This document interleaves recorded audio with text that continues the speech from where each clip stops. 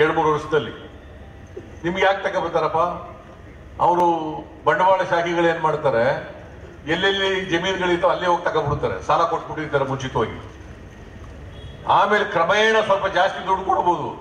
ಕ್ರಮೇಣ ಏನ್ ಮಾಡ್ತಾರೆ? ಎ ಪಿ ಎಂ ಸಿ ಮಾರ್ಕೆಟ್ಗಳೆಲ್ಲ ಮುಚ್ಚೋದ ಮೇಲೆ ಅವ್ರು ಹೇಳಿದ ರೇಟಿಗೆ ರೈತ ಕೊಡಬೇಕು. ರೈತ ಏನ್ ಹೇಳ್ತಾರೆ ಅಲ್ಲ, ಅವ್ರು ಏನ್ ಹೇಳ್ತಾರೆ? ಬಂಡವಾಳಶಾಹಿಗಳು ಅವ್ರ ರೇಟಿಗೆ ಕೊಡ್ಬೇಕು. ಅವರೇ ಒಂದು ಮಾರುಕಟ್ಟೆ ಮಾಡ್ಕೋತಾರೆ ಕೊಟ್ಟರು ಕೊಡೆಯ ಕೊಡ್ತಾರೆ ತಗೊಂಡು ಹೋಗ ಯಾತಾಗಿ ಇರ್ತಾರೆ. ಇಂಥದ್ದು ಎ ಪಿ ಎಂ ಸಿ ಮಾರ್ಕೆಟಿನ ಇವತ್ತು ಹಾಳು ಮಾಡ್ಬಿಟ್ಟಿದ್ದಾರೆ. ದೇವರಾಜ್ ಅರಸು ನೈನ್ಟೀನ್ ಸೆವೆಂಟಿ ಫೋರ್ನಲ್ಲಿ ಎಪ್ಪತ್ನಾಲ್ಕನೇ ಇಸ್ವಿನಲ್ಲಿ land reforms act nineteen sixty ಫೋರ್ಗೆ ತಿದ್ದುಪಡಿ ತಗೊಬಂದು ಉಳುವವನೇ ಭೂಮಿ ಒಡೆಯ. ಅಂತ ಮಾಡಿದ್ರು. ಯಾರು ಹೊಲ ಉಳ್ತಾರೆ ಅವ್ರು ಮಾತ್ರ ಭೂಮಿ ಮಾಲೀಕರು. ಈಗೇನು ಮಾಡಿದ್ದಾರೆ?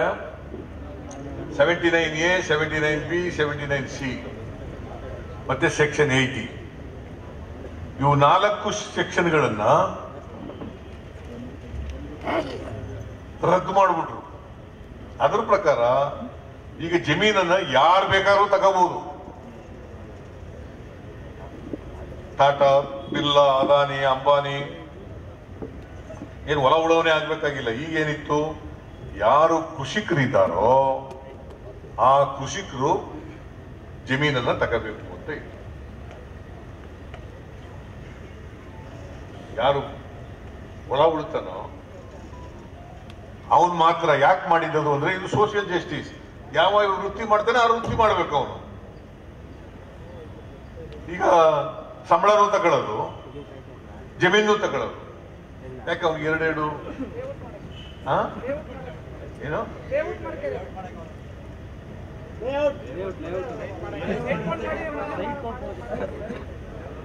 ಆಯ್ತಾ?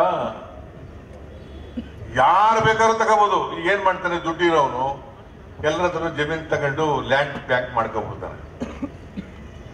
ಅವನೇನು ರಿಯಲ್ ಎಸ್ಟೇಟ್ ಮಾಡ್ತಾನ? ಇಲ್ಲ ಆಹಾರ ಪದಾರ್ಥ ಬೆಳಿತಾನ? ಯಾರಿಗೂ ಗೊತ್ತಿಲ್ಲ. ಈಗ ರತ್ನ ಕಂಬಳಿ ಹಾಸ್ಬಿಟ್ಟಿದ್ದಾರೆ ಶ್ರೀಮಂತರುಗಳಿಗೆ. ಈಗ ಏನಾಗಿದೆ? ಉಳುವವನೇ ಭೂಮಿ ಒಡೆಯಲ್ಲ, ಉಳ್ಳವನೇ ಭೂಮಿ ಒಡೆಯ. ಯಾರು ಶ್ರೀಮಂತರು ಇದ್ದಾರೋ ಅವರೇ ಭೂಮಿ ಒಡೆಯ ಮಾಡ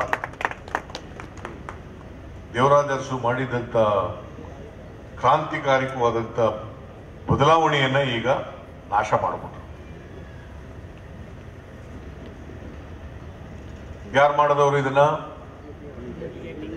ಮಿಸ್ಟರ್ ಯಡಿಯೂರಪ್ಪ ಇವ್ರ ಪಕ್ಷ ಗೆಲ್ಲಬೇಕ ಹೇಳಿ ನೋಡೋಣ. ಇವ್ರು ಉದ್ರೆ, ಇದ್ರೆ ದೇಶ ಉಳಿತದ, ರಾಜ್ಯ ಉಳಿತದ, ಹೇಳಿ ಜನರು ಉಳಿತಾರ.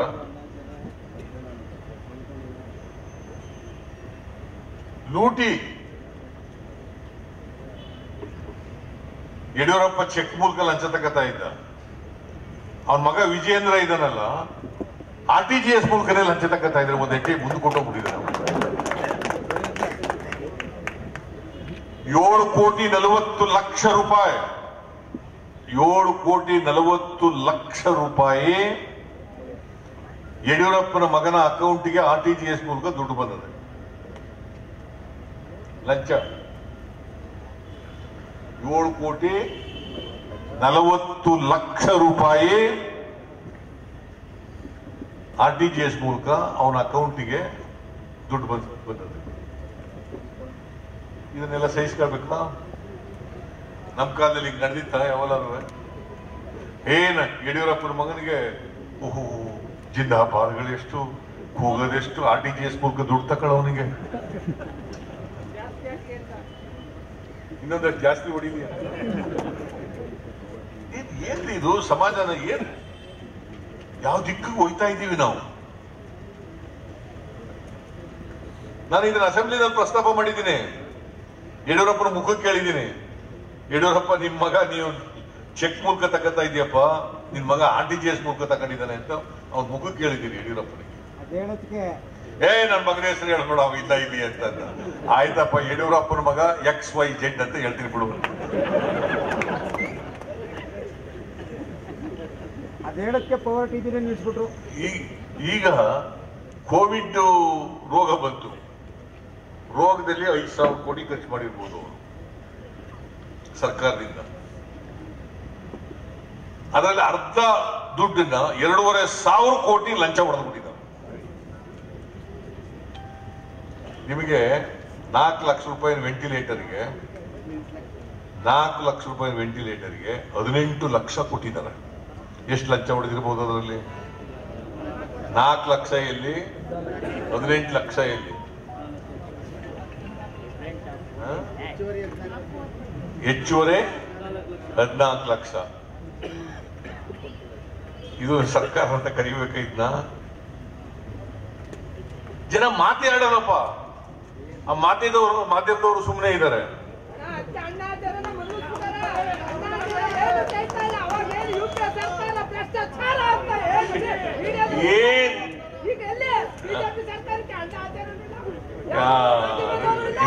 ಈ ತರ ಆಗ್ಬಿಟ್ಟದೆ. ಲೂಟಿ ನಡೀತಾ ಇದೆ ರಾಜ್ಯದಲ್ಲಿ.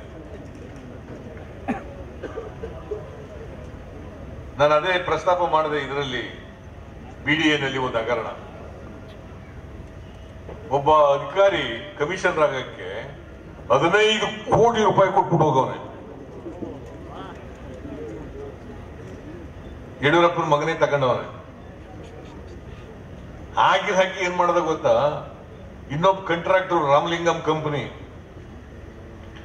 ಅವನು ಹನ್ನೆರಡು ಕೋಟಿ ಕೊಟ್ಟಿದ್ದ ಇವನ್ ಕೈಲಿ, ಕೊಟ್ಬಿಡು ಎತ್ತಿನ ಅವನಿಗೆ ಅವ್ರಿಗೆ ವಿಜೇಂದ್ರನಿಗೆ ಅಂತ. ಗಿರಾಕಿ ನಾ ಹದಿನೈದು ಕೋಟಿ ಕೊಟ್ಟಿದ್ದೀನಿ ಅಂದ್ಬಿಟ್ಟು ಹನ್ನೆರಡು ಕೋಟಿ ಇಟ್ಕೊಬಿಟ್ಟ ಅವನೇ.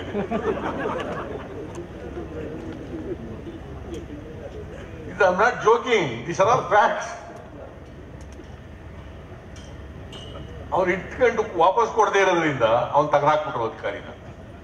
ಆರು ತಿಂಗಳು ಇರಲಿಲ್ಲ ಅವ ಬಿ ಡಿ ಎ ಕಮಿಷನ್ ಆಗಿ. ಅವ ಇಲ್ಲೆಲ್ಲ ಬಂದವನೇ ಈಗ ಮೈಸೂರಿಗೆ. ರೀಜನಲ್ ಕಮಿಷನ್ ಆಗಿ ಬಂದವನು.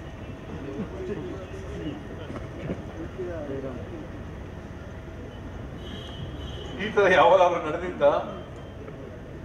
ಹ? ಇದೆಲ್ಲ ರೆಕಾರ್ಡ್ ಆಗಿದೆ. ಯಜ್- ಯಡಿಯೂರಪ್ಪನ ಮಗ ವಿಜಯೇಂದ್ರ ಹೇಳಿರೋದು. ಅವನು ನಮ್ಗೆ ಹನ್ನೆರಡು, ಹದಿನೈದು ಕೋಟಿ ಕೊಟ್ಟಿದೀವಿ ಅಂತ ಹೇಳ್ಕೊ ತಿರುಗಾಡ್ತಾನೆ ಅದಕ್ಕೆ ತೆಗೆದಾಕದೆ ಅಂತ ಹೇಳ್ತಾನೆ.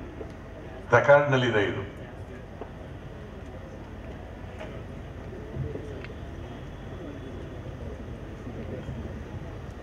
ಆಯ್ತಲ್ಲ?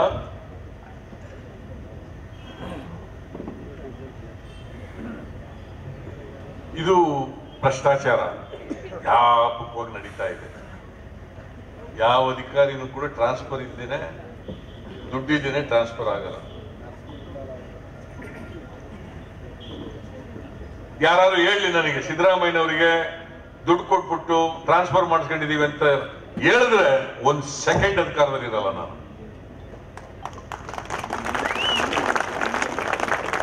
ಒಂದ್ ಸೆಕೆಂಡ್ ರಾಜಕೀಯದಲ್ಲಿ ಇರಲ್ಲ.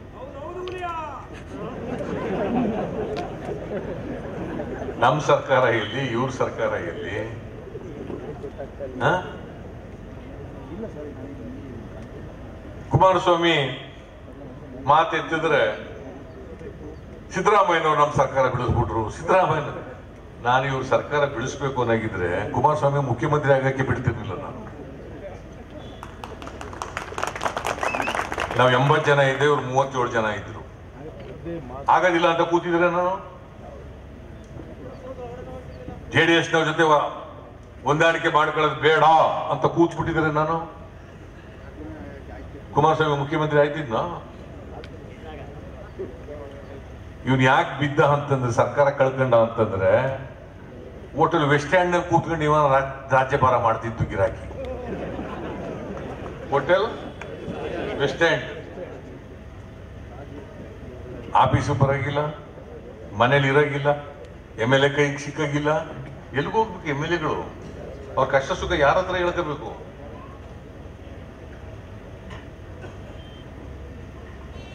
ಎಂ ಎಲ್ ಎಗಳಿಗೆ ಸಿಕ್ಕದೇನೆ, ಕೈ ಸಿಕ್ಕದೇನೆ, ಅವ್ರ ಕಷ್ಟ ಸುಖ ಕೇಳ್ದೇನೆ. ಅವ್ರಲ್ಲಿ ಪತ್ರ ಕೊಟ್ರೆ ಅವರು ಎಂ ಎಲ್ ಎಗಳು. ಹಿಂಗೆ ಕೊಟ್ಬಿಡೋದು ಯಾರ ಕೈಗೂ?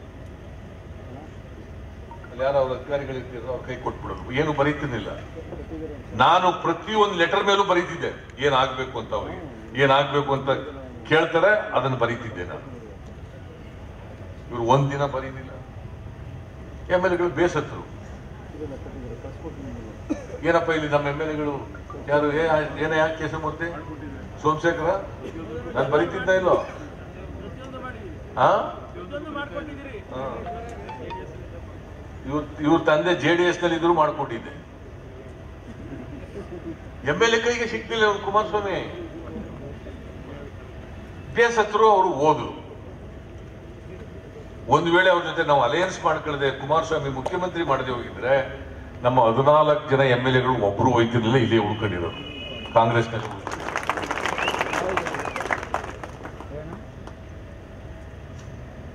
ಅವರ ಸರ್ಕಾರ ನಡೆಸಕ್ ಬರದೇನೆ. ಅದಕ್ಕೆ ನಾನು ಹೇಳ್ತಾ, ಅನೇಕ ಸಾರಿ ಹೇಳ್ತೀನಿ. ಕುಣಿಯಲಾರದವರು ನೆಲೆ ಡೊಂಕಂದರು ಸಿದ್ದರಾಮಯ್ಯ ಬೆಳೆಸ್ಬಿಡ್ತಾರೆ ಇತ್ತೀಚೆಗೆ ಒಂದ್ಸರಿ ಹೇಳಿದ್ದಾರೆ, ನಂಗೆ ಸರ್ಕಾರ ಬಿದ್ದೋಯ್ತದೆ ಅಂತ ಗೊತ್ತಿತ್ತು ಅದಕ್ಕೆ ಅಮೆರಿಕ ಕೊಟ್ಟೋಗ್ಬಿಟ್ಟೆ ನಾನು ನೋಡಿದೆ ವೆಂಕಟೇಶ್ ಅದನ್ನ. ಒಂದು ವಾರ ಅದಕ್ಕೆ ಎಂಟು ದಿನ ಹೊಟ್ಟೋಗ್ಬಿಟ್ಟೆ ಅಮೆರಿಕಕ್ಕೆ ಸರ್ಕಾರ ಬಿದ್ದೋಯ್ತದೆ ಅಂತ. ನನ್ನ ಕೈಲಿ ಉಳಿಸ್ಕೊಳಕ್ ಆಯ್ತಿನಿಲ್ವೋ ಸರ್ಕಾರನ? ಹೋಗ್ಲಿ ಅಂತ ಬಿಡ್ಬಿಟ್ಟೆ ಅಂತ ಅವನೇ ಹೇಳ್ತಾನೆ ಗಿರಾಕಿ. ಅದು ಆ ಥರ ಹೇಳ್ಬಿಟ್ಟು ಇನ್ನೊಂದ್ಸಲ ಸಿದ್ದರಾಮಯ್ಯ ಬೆಳೆಸ್ತಾನೆ ನನ್ನ ಸರ್ಕಾರನ. ಇವರಿಗೆ ರಾಜಕೀಯ ಪ್ರಬುದ್ಧತೆ ಇದೆಯಾ? ನನ್ನ ಕಾಲದಲ್ಲಿ ಐದು ವರ್ಷ ಒಬ್ಬ ಎಂ ಎಲ್ ಎ ನನ್ನ ವಿರುದ್ಧ ಬಾಯಿ ತೆಗೆದಿದ್ರ? ಐದು ವರ್ಷಗಳ ಕಾಲ. ತಗದಾಕದ ಮೇಲೆ ಶ್ರೀನಿವಾಸ ಪ್ರಸಾದ ಓದೋದು ಬೇರೆ ಹೊರಗಡೆ ಅದು ಬಿಟ್ಟರೆ ಯಾರಾದರೂ ಒಬ್ಬ ಎಂ ಎಲ್ ಎ ನನ್ನ ವಿರುದ್ಧ ಸೊಲ್ಲೆತ್ತಿದ್ರ?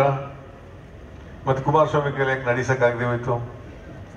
ಅದಕ್ಕೆ ಹೇಳಿದ್ದು, ಕುಣಿಯಲಾರದವರು ನೆಲ ಡೊಂಕೆಂದರು.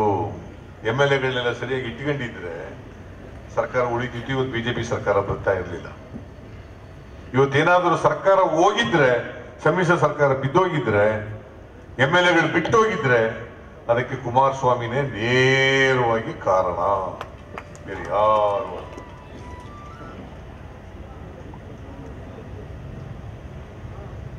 ಈಗ ನಮ್ಮ ಜೊತೆ ಎಲ್ಲ ಅನುಭವಿಸಿ ಒಂದು ವರ್ಷ ಎರಡು ತಿಂಗಳು ಸರ್ಕಾರ ಎಲ್ಲ ಮಜಾಡಿ ಅಧಿಕಾರನೆಲ್ಲ ಅನುಭವಿಸಿ ಈಗ ನಾನು ಬಿಜೆಪಿ ಜೊತೆ ಹೋಯ್ತೀನಿ ನಾನು ಬಿಜೆಪಿ ಜೊತೆ ಹೋಯ್ತೀನಿ ಈಗಾಗಲೇ land reforms act A P M C act ಇದಕ್ಕೆಲ್ಲ ಬೆಂಬಲ ಕೊಟ್ಬಿಟ್ಟು ಆ ಕಡೆ ಏನಪ್ಪ? ಎಲ್ಲ ಅದಕ್ಕೆ ಸಪೋರ್ಟ್ ಮಾಡ್ಬಿಡು ಗೋಹತ್ಯೆ ಮಸೂದೆ. ನಾನೇನ್ ಹೇಳಿದೆ ಈಗ ಗೋಹತ್ಯೆ ಮಸೂದೆ ಇದೆ, ಕರ್ನಾಟಕದಲ್ಲಿ, ದೇಶದಲ್ಲೇ ಇದೆ. Prevention of slaughter and protection of cattle act nineteen sixty four ಆಗ್ತಿದೆ ಅರವತ್ನಾಲ್ಕನೇ ಇಸ್ವಿ ಕಾಯ್ದೆ ಇದೆ. ಅದರಲ್ಲಿ ಏನ್ ಹೇಳ್ತಾರೆ ಅಂತಂದ್ರೆ ಈಗಿರೋ ಕಾಯ್ದೆನಲ್ಲಿ, ಇದ್ದ ಕಾಯ್ದೆನಲ್ಲಿ ಯಾವ ರಾಸುಗಳಿಗೆ ಹನ್ನೆರಡು ವರ್ಷ ವಯಸ್ಸಾಗಿರ್ತದೆ. ಯಾವ ಹಾಲು ಕರಿಯಲ್ಲ, ಬರಡು ದನಗಳು. ಯಾವ ರೋಗ ಪೀಡಿತ ಆಗಿರ್ತವೆ ಅಂತ್ಯವನ್ನು ವಧೆ ಮಾಡಬಹುದು ಗೋ ಹತ್ಯೆ ಅಂದ್ರೆ ಕೊಲ್ಲಬಹುದು ಅಂತ ಇದೆ. ನಿರುಪಯುಕ್ತ ಪ್ರಾಣಿಗಳನ್ನ. ಈಗೇನ್ ಮಾಡಿದ್ದಾರೆ? ಯಾವ ಪ್ರಾಣಿನೂ ಮಾಡಬಾರದು ಅಂತ ಮಾಡಿಬಿಟ್ಟಿದ್ದಾರೆ. ಕೋಣ ಎತ್ತು, ಎಮ್ಮೆ, ಕರು, ಹಸು, ಇವ್ಯಾವುದು ಮಾಡಬಾರದು. ಸದ್ಯ ಮೇಕೆ, ಕುರಿ, ಕೋಳಿ ಮಾಡಿಲ್ಲ. ಮಾಡ್ಬಿಟ್ಟಿದ್ದಾರೆ ಈಗ ಒಬ್ಬ ರೈತ, ಇದು ವೆಂಕಟೇಶ ರೈತ. ಇವ್ರ ಹತ್ರ ಹತ್ತು ದನಗಳಿದ್ದಾವೆ ಅಂತ ಇಟ್ಟಿದ್ದಾರೆ ವಯಸ್ಸಾಯ್ತದೆ. ಅದು ಮಾರ್ಬಿಡ್ತಿದ್ದ ವಯಸ್ಸಾದವನ. ಹೊಲ ಉಳಕ್ಕಾಗದಿದ್ದವನ ಹಾಲು ಕರೀದಿದ್ದವನ ಮಾರ್ಬಿಡ್ತಾರೆ ಈಗ ಮಾರಾಗಿಲ್ಲ ಇವ. ಇವನೇ ಸಾಕ್ಬೇಕು. ಸಾಯೋವರೆಗೂ ಸಾಕ್ಬೇಕು, ಆಮೇಲೆ ಊತ ಹಾಕ್ಬೇಕು.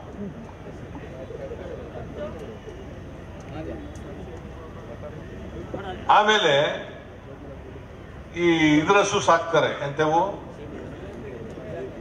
ಇಲಾತಿ ಹಸುಗಳು ಸಾಕ್ತಾರೆ. ಗಂಡ್ಕರು ಹಾಕಿದ್ರೆ ಮಾರ್ಬಿಡ್ತಾರೆ, ಹೆಣ್ಕರು ಇದ್ರೆ ಮಾತ್ರ ಸಾಕ್ತಾರೆ, ಹಾಲು ಕೊಡ್ತವೆ ಅಂತೇಳಿ. ಈಗ ಏನ್ ಮಾಡ್ಬೇಕು? ಗಂಡ್ಕರು ಎಲ್ಲಿ ಕಳಿಸ್ತೀರಿ? ಮಾರಾಗಿಲ್ವಲ್ಲ ನೀವು?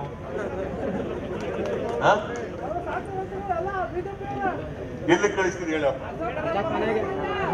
ಅಶೋಕ ಹೇಳ್ತಾನೆ, ಎಲ್ಲ ನಮ್ಮ ಮನೆಗೆ ಕಳಿಸಿ ಅಂತಾನೆ ನಾನು ಹೇಳಿದೆ, ಆಯ್ತಪ್ಪ ನಿಮ್ಮ ಮನೆಗೆ ಕಳಿಸ್ಕೊಡೋಣ ದುಡ್ಡು ಕೊಟ್ಬಿಟ್ಟು ತಕ್ಕೊ ಹಾಕಿದವನು ಯಾರು? ರೈತ.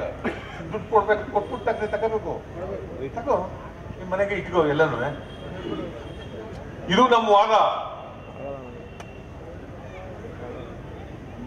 ಇದು ರೈತರು ಸರಿ ಅಂತಾರೋ ಇಲ್ಲ ಅಂತಾರೆ ಹೇಳಿ ನೋಡೋಣ ನೀವು.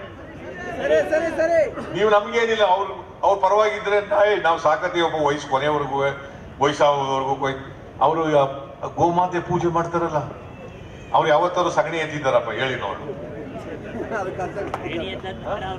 ಯಾವತ್ತಾರು ಗಂಜಲ ಎತ್ತಿದಾರ ಯಾವತ್ತಾರು ಸಗಣಿ ಬೆಂಡಿ, ಬೆರಣಿ ತಟ್ಟಿದಾರ ಯಾವತ್ತಾರು ಗೊಬ್ಬರ ಹೊತ್ಕೊಂಡು ಹೋಗಿ ಹೊಲಕ್ಕೆ ಹಾಕಿದಾರ ಯಾವತ್ತಾರು ತಿಪ್ಪು ಸುರಿದಿದಾರ ಯಾವತ್ತಾರು ಮಾಡಿದಾರ ಏಯ್, ಕೂತ್ಕೊಳ್ರಿ. ಏಯ್, ಅವ್ನು ಯಾವನ ಓಡಾಡೋನು. ಕೂತ್ಕೋ. ಏನ್ ಅರ್ಧ ಗಂಟೆ ಹಸ್ಕೊಂಡಿರಕ್ಕಾಗಲ್ವಾ ಕೂತ್ಕೊಳ್ರಿ ಎಲ್ಲ.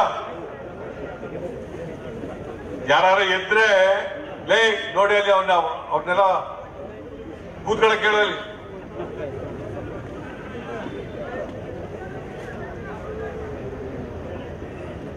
ಇದು ವಿರೋಧ ಮಾಡಿದ್ರೆ ನಾವು ಸಿದ್ದರಾಮಯ್ಯನವರು ಗೋಹತ್ಯೆ ಪರವಾಗಿದ್ದಾರೆ, ಮುಸಲ್ಮಾನರ ಪರವಾಗಿದ್ದಾರೆ, ಕ್ರಿಶ್ಚಿಯನ್ರ ಪರವಾಗಿದ್ದಾರೆ. ಏನ್ ಅವ್ರೇನು ಮನುಷ್ಯರಲ್ವೋ? ಈ ಬೀಪ್ ತಿನ್ನವರು ಬರೀ ಮುಸಲ್ಮಾನರ? ದಲಿತರು ತಿಂತಾರೆ, ಕ್ರಿಶ್ಚಿಯನ್ರು ತಿಂತಾರೆ ಕೊಡವರು ತಿಂತಾರೆ ಇಲ್ಲಿ ಕೂರ್ಗ್ನಲ್ಲಿ. ಬೇರೆ ಬೇರೆ ಕಡೆ ಎಲ್ಲ ತಿಂತಾರೆ. ಎಲ್ಲರೂ ತಿಂತಾರೆ. ಹಿಂದುಳಿದವರು ತಿಂತಾರೆ. ಅಲ್ವಾ? ಅದಕ್ಕೆ ನಾವು ಒಂದ್ಸರಿ ಹೇಳಿದ್ದೆ ಅಸೆಂಬ್ಲಿನಲ್ಲಿ. ನನಗೆ ತಿನ್ಬೇಕು ಅನ್ಸಿದ್ರೆ ತಿಂತೀನಪ್ಪ, ನೀ ಯಾವನ ಯಾಕೆ ಹೇಳಕ್ಕೆ ನನಗೆ ಅಂತ ತಿನ್ಬೇಕು ಅಂದ್ರೆ ತಿಂತೀನಿ. ಮುದ್ದೆ ಬಿಟ್ಟು ನನ್ನ ಇಷ್ಟ ನನಗೆ ಸೇರದ್ದು ಅದು. ನಾನು ಏನ್ ತಿನ್ಬೇಕು, ಏನ್ ತಿನ್ಬಾರ್ದು ಅಂತ ತೀರ್ಮಾನ ತಗೊಳ್ಳೋ ನಾನು. ನೀ ಯಾವನು? ನಾನು ನೀನ್ ತಿನ್ನು ಅಂತ ಹೇಳಲ್ಲ. ನೀನ್ ಪುಂಚಾರ ಉಂಡೆ ಮಾಡಪ್ಪ, ನನಗೇನ್ ತಕ್ಕ ತೊಂದರೆ ಇಲ್ಲ. ನಾನು ಮಾಂಸ ತಿಂತೀನಿ ತಿಂತೀನಿ. ನೀವ್ಯಾರು ಕೇಳಕ್ಕೆ? ನಾವು ಗೋ ಪೂಜೆ ಮಾಡಲ್ವ? ಸಂಕ್ರಾಂತಿ ಹಬ್ಬದ ದಿನ ಪೂಜೆ ಮಾಡೋದೇನು? ಇದು ಎಂತ, ದೀಪಾವಳಿ ಹಬ್ಬದ ದಿನ ಪೂಜೆ ಮಾಡೋದೇನು? ಕಿಚಾಯಿಸೋರು ಯಾರು? ಅವ್ರು ಬಂದ್ರು, ಆರ್ ಎಸ್ ಎಸ್ ಅವ್ರು ಬಂದ್ರು ಕಿಚಾಯಿಸಕ್ಕೆ ನೋಡಿ, ಸಾಕವ್ರು ಯಾರೋ? ತೀರ್ಮಾನ ಮಾಡೋರು ಇದ್ಯಾರೋ ಇದು ಇವತ್ತು ಚರ್ಚೆ ಆಗ್ಬೇಕಾಗಿರ್ತಕ್ಕಂಥ ಈಗ ನಾಳೆ ಇವೆಲ್ಲ ಕಾನೂನು ಬಂದ್ಬಿಟ್ರೆ ನಾನು ಯಾಕಪ್ಪ ಹಸುಗಳು ಸಾಕಲ್ಲ, ಎಮ್ಮೆನೂ ಸಾಕಲ್ಲ ಕೋಣನು ಸಾಕಲ್ಲ ಅಂತ ಬಿಟ್ಬಿಡ್ತಾರೆ. ಹಾಲು ಉತ್ಪಾದನೆ ಏನಾಗ್ತದೆ? ಇವತ್ತು ಒಂದ್ ದಿನಕ್ಕೆ ಎಂಬತ್ತು ಲಕ್ಷ ಲೀಟರ್ ಹಾಲು ಬರ್ತಾ ಇದೆ. ಹಸುಗಳನ್ನೇ ಸಾಕದೆ ಹೋದ್ರೆ ನಾಳೆ? ಹಾಲು ಉತ್ಪಾದನೆ ಎಲ್ಲ ಆಗ್ತದೆ? ವ್ಯವಸಾಯ, ಇವತ್ತು ಕೂಡ ಬಡವರೆಲ್ಲ ಎಲ್ಲ ಟ್ರ್ಯಾಕ್ಟರ್ ಇಟ್ಕೊಂಡಿದ್ದಾರೆ, ಬಡವರೆಲ್ಲ. ಹಾ? ಎಲ್ಲ ಒಂದ್ ಎಕರೆ, ಎರಡು ಎಕರೆ ಇರೋರೆ ಜಾಸ್ತಿ ಇರೋದು ಜನ. ಅವರೆಲ್ಲ ಟ್ರ್ಯಾಕ್ಟರ್ ಇಟ್ಕೊಂತಾರ? ಎಷ್ಟೋ ಒಂದು ಹಸು ಕಟ್ಕೊಂಡು ಜೀವನ ಮಾಡ್ತಾರೆ. ಅದಾಗತ್ತ ನಾಳೆ. ಓರ್ಗರು ತಕ್ಕಳದೆ ಹೋದ್ರೆ ಬಿಟ್ಬಿಡ್ತಾರೆ. ಅವ್ರೇನ್ ಹೇಳ್ತಾರೆ?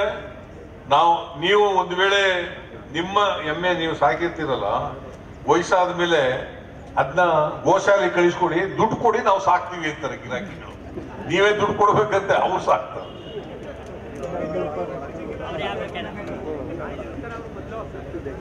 ಎಲ್ಲರೂ ಹುಂಟೇನ್ರಿ ಇದು. ಇದು ಇವತ್ತು ಬಿಜೆಪಿ ಅವರು ಗೋ ಗೋಮಾತೆ ಏನ್ ಪೂಜೆ ಮಾಡದ್ದೇ ಮಾಡದ್ದು ಎಲ್ಲ ಕಡೆ. ಏನಾದ್ರೂ ಸಂಬಂಧ ಇದ್ರೆ ಎತ್ತುಗಳಿಗೆ ಎಮ್ಮೆಗಳಿಗೆ ರಾಸ್ ಹಸುಗಳಿಗೆ ಅದು ರೈತರಿಗೆ